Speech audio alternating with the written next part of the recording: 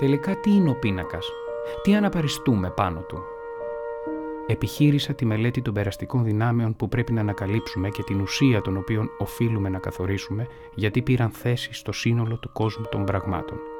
Δεν τίθεται θέμα ζωγραφική στο σουπρεματισμό. Η ζωγραφική καταργήθηκε από καιρό και ο ίδιος ο ζωγράφος είναι μια προκατάληψη του παρελθόντος.